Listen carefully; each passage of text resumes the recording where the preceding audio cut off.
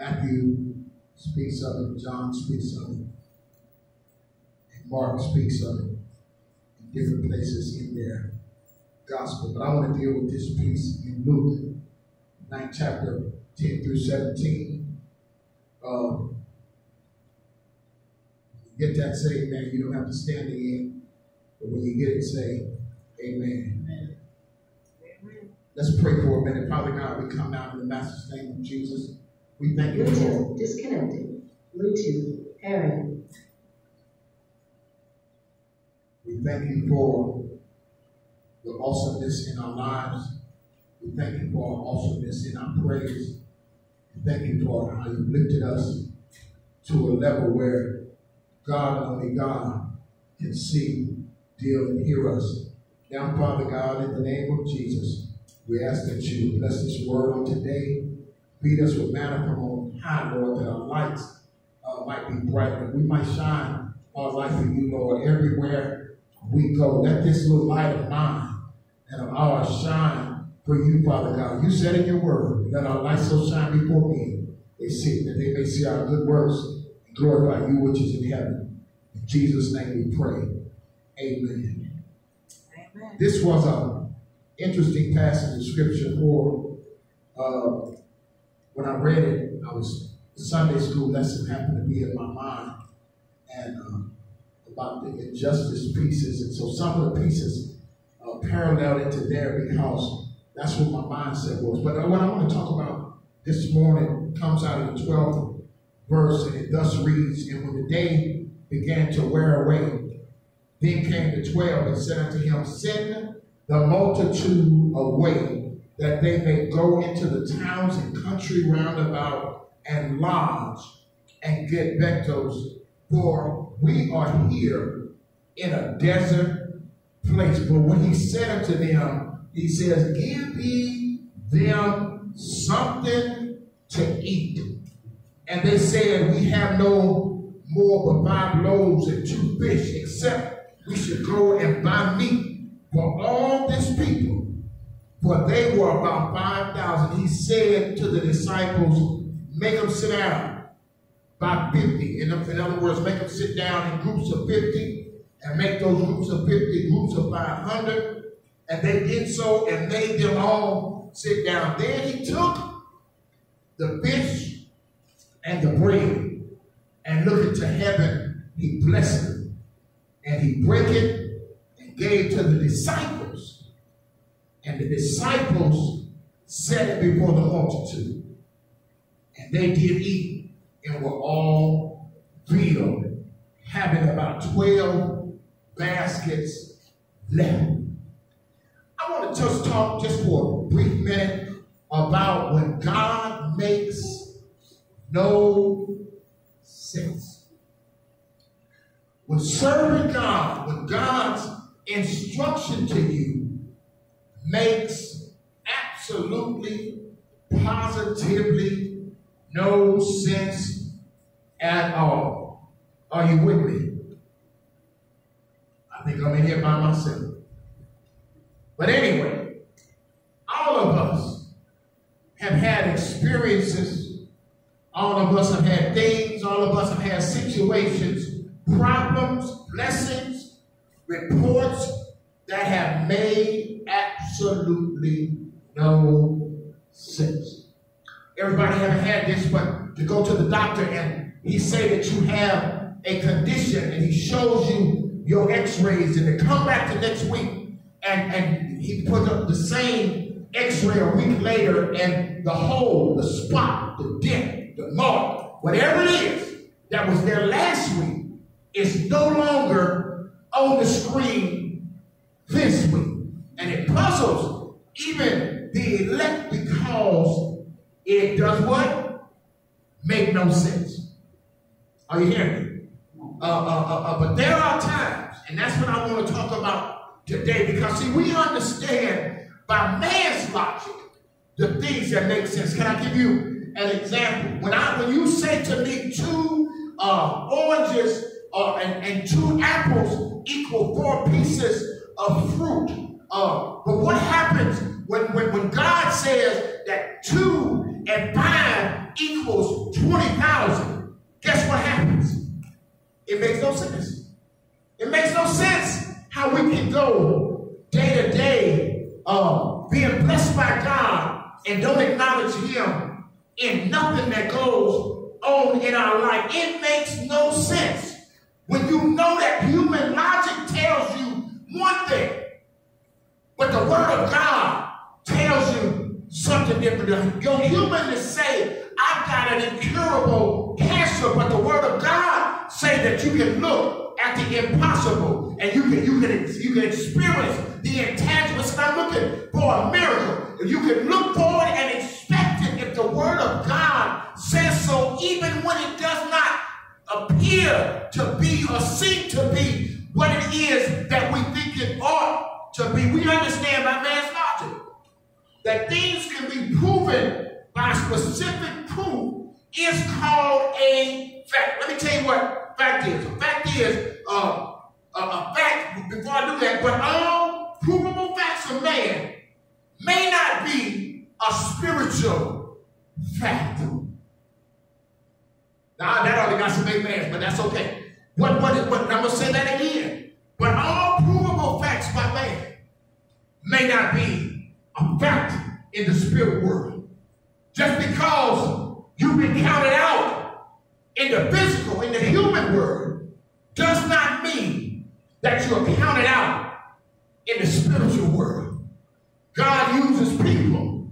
He uses ordinary people to do extraordinary things mean that you can never ever be counted out in God. You can't be counted out because just before you hit uh, this, this world, God already had plans for you. He was he picked out your parents, he, he picked out your childhood, he picked out how it was gonna go, he picked out how many times you would go to jail, how many times you would get drunk. All of those things were known by God. And when man said you wouldn't be nothing, God raised you up to be something great in the spiritual world. There's a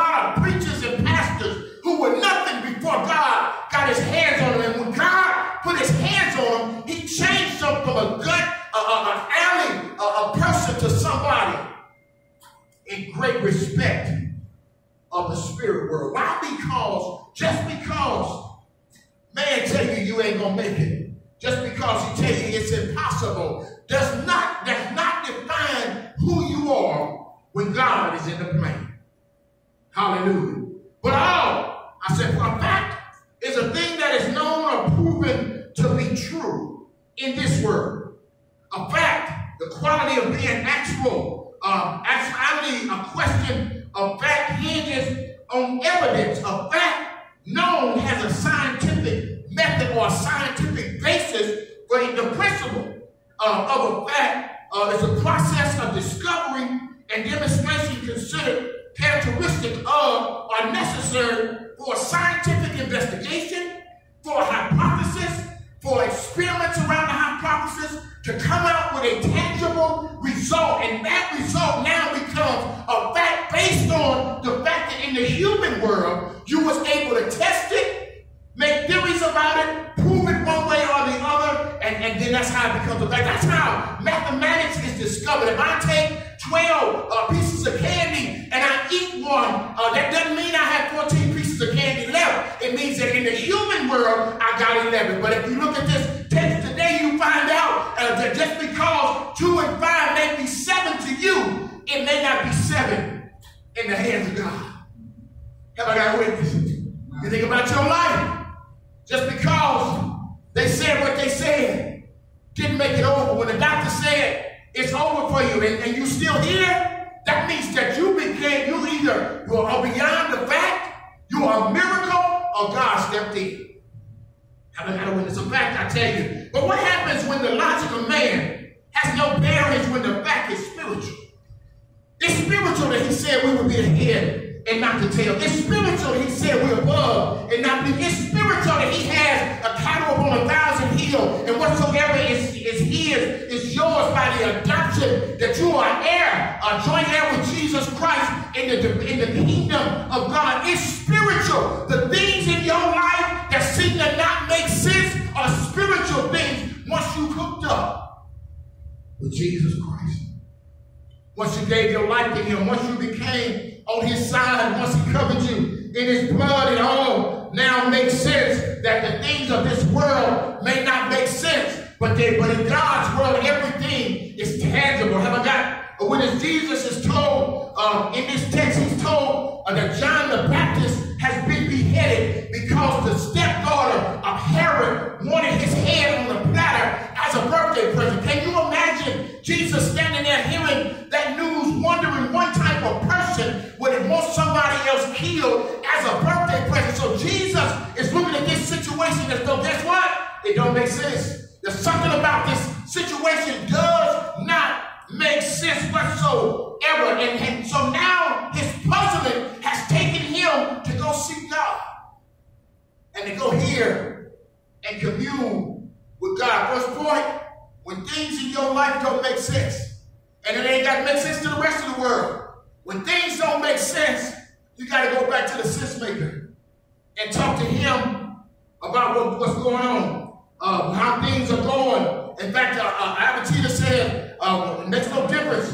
Uh, whatever the situation is, I can go to God in prayer. And a fellow over in our hymn book said, I, you know, I can go to him in secret prayer and leave my burdens there. When things seem to be topsy-turvy, tough and rough, you got to go back to the sense maker. Have I got a witness? And in this text, Jesus now goes back to talking to God and, and, and talking to him about what does not make sense. Jesus and the disciples leave, and the crowd begins to follow him over everywhere he goes. What they know is about Jesus is there's some stuff that's going on with him that doesn't make sense. There was a man whose ears uh, were stopped up, and Jesus came by and put his fingers in his ears and told him a few things and said some stuff to him, and the stuff that the doctors have been telling him all his life that made sense. Jesus said that stuff doesn't make sense, but if you want uh, to hear again, here is what you have to do. And when the man begins to do what God tells him to do, the stuff that don't make sense,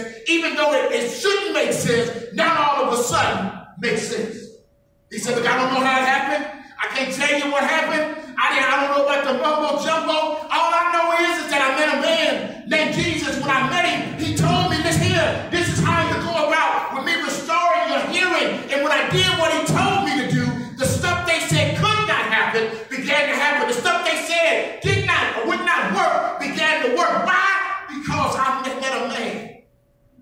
who made sense out of no sense. Uh, the Bible says that Christ begins to teach and heal them. Everyone following is only there uh, to seek Jesus out. And the funny part about it is, even consistent to this day, everybody that comes to follow Jesus is not following Jesus because their heart is in.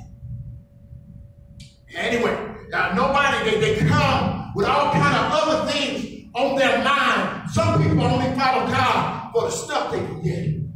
They don't follow him. They don't give him their whole heart. They're only here to get a man or to get a house or to get a car or to get a better job. They're not here giving him their substance. Why? Because all they're trying to do is get from God. And when you come to get from God, you may get some stuff, but guess what? You won't get the real stuff because the real stuff that makes sense is the stuff that don't make sense. And that is, is that God loved us so much so that he gave his son to die for us.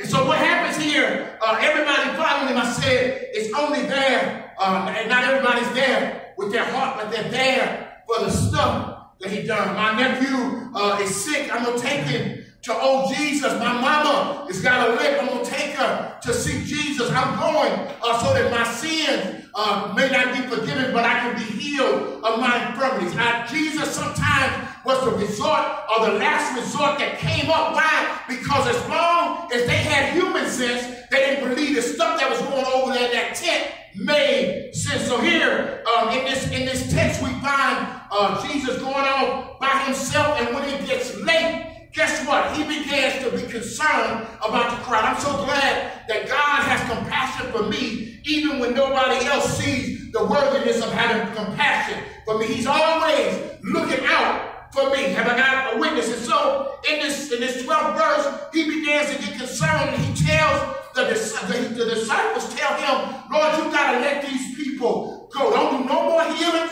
Don't do nothing else for them, but let them go because it's late and I know they're hungry. We don't them falling out in the desert, so let them go so they can go get what they need, the sufficiency, so that nothing happens to them. But see, they don't realize that who they're talking to is the sense that makes no sense. Have I got a witness? And so the disciples think to do what is humanly makes sense. They said, look, uh, we understand uh, that the COVID is running wild and rapid in this community, so we need to go take so I've heard everything. Goji berries. Uh, stock up on vitamin E. Uh, get you some nose spray. I done heard eat, uh, eating oranges, vitamin C, echo berries. Then everybody got some remedy for COVID. They don't realize, hey man, that COVID was here long before they gave it a name. And the person who kept COVID off of us was not a doctor, but it was Dr. Jesus.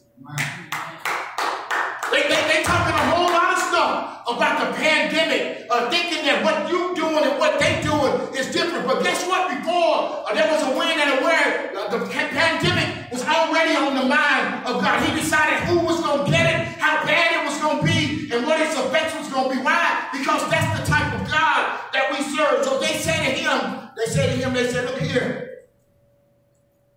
Think what we can do humanly to make sense of this situation is to send them Oh, wait, now listen, now listen. Uh, Matthew 19 and 26 says, But Jesus beheld them and said unto them, With men, this is possible. But with God, also this is impossible. But with God, all things are possible. Now look, look, look here why he tells them that. They don't, they, they don't consult Jesus when they go to him about their eating. They go tell him what, what, what should be done. Now, now, now I got to hold right there because that's a problem that we have. Even in our prayer, we don't consult God.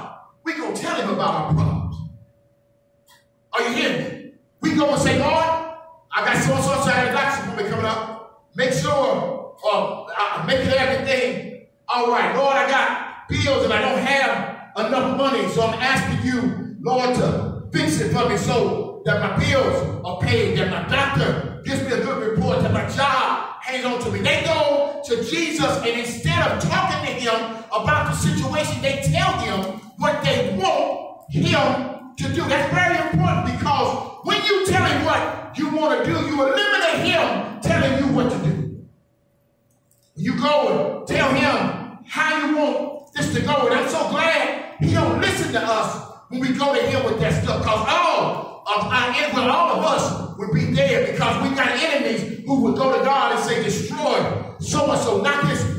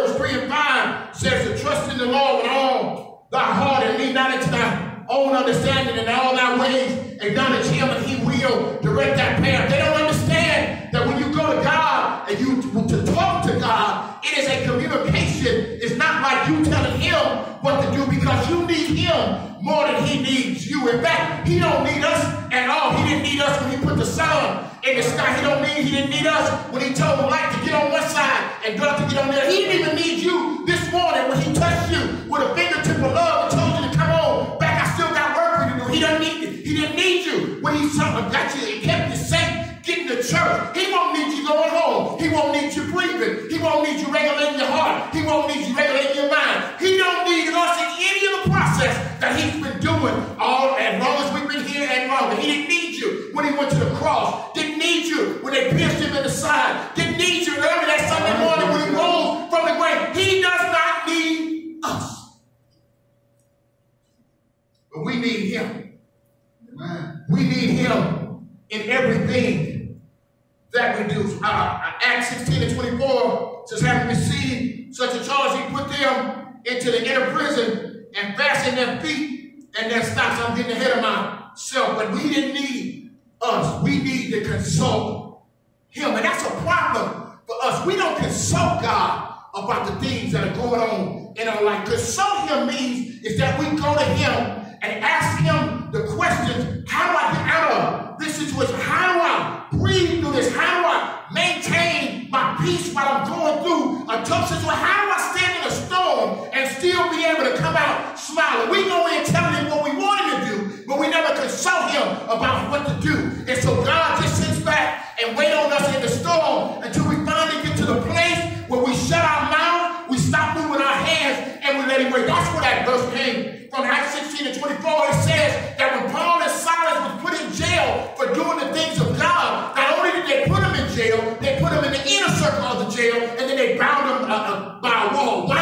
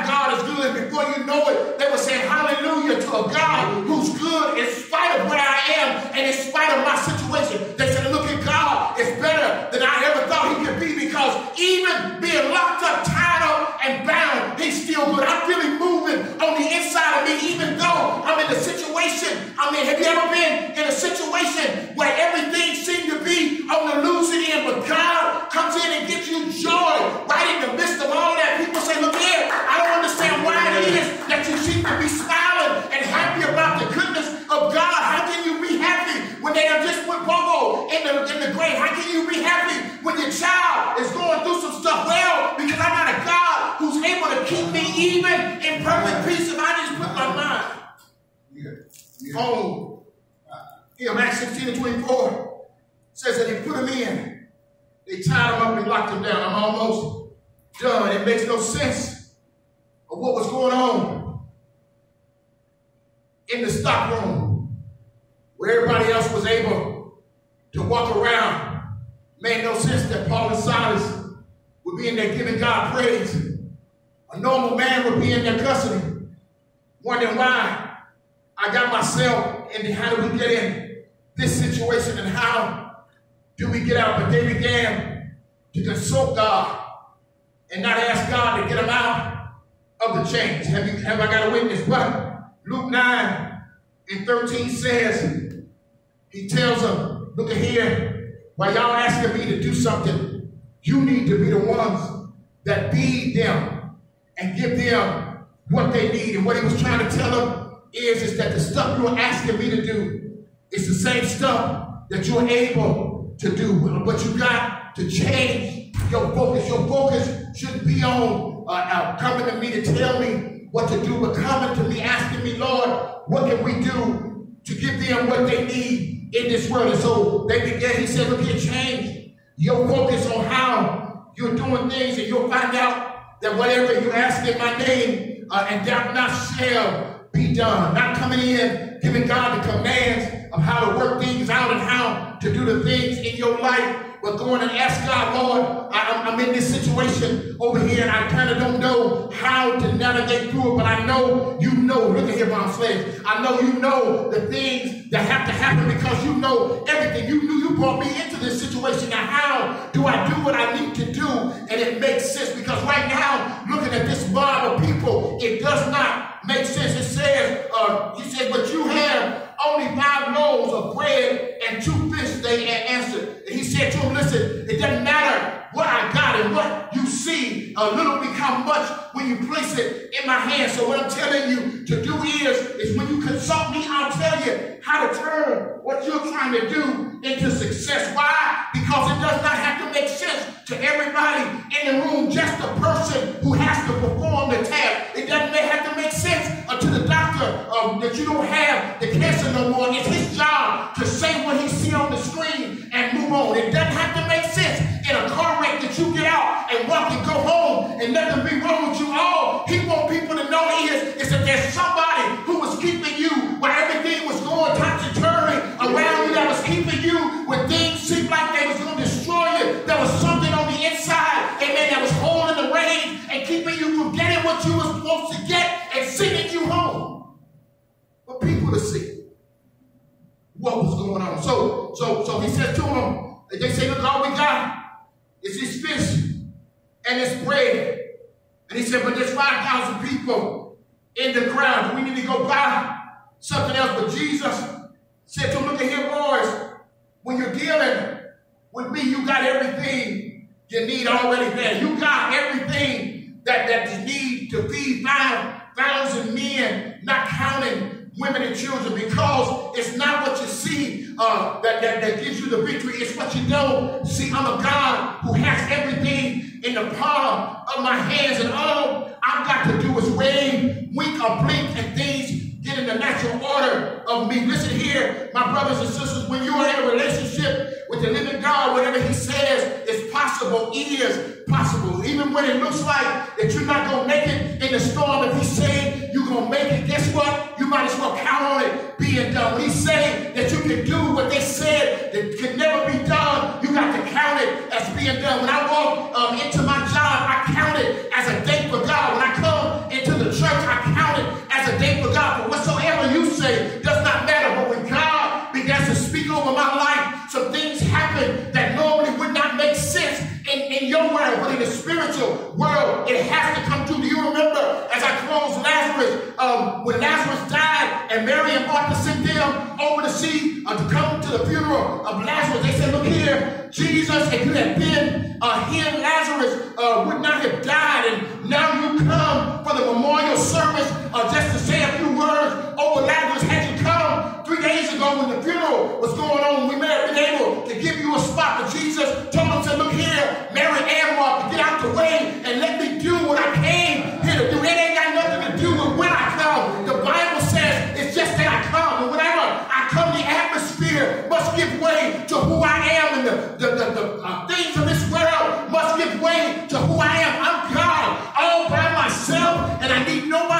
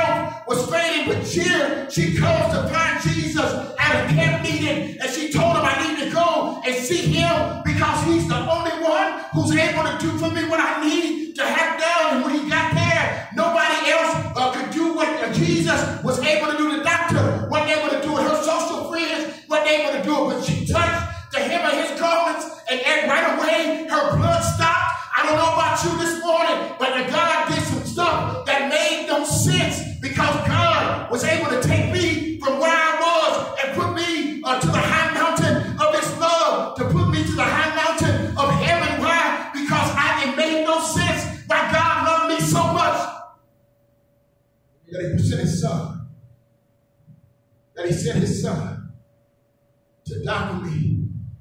I don't know why this song saying. Jesus loved me. I don't know why. He cares. I don't know why. He sacrificed his life for me. Oh, but I'm glad. So glad he did. Where would I be if he didn't love me? Where would I be if he didn't care? Where would I be if he had sacrificed his life? But I'm glad. Amen. So glad he did. God, serving God, living with God, makes no sense. The love of God shed abroad, even when it makes no sense. He died for all of us. Not in deserving will, but because he loved us. But because we're good, because he loved us. Well, because we'll ever do something that matters, we need the same grace, the same mercy as everybody who went before us. Martin Luther King, as great as he was, Gandhi, you name him, it is the same grace, the same mercy that each one of us does. But God made sense out of our lives, gave us eternal life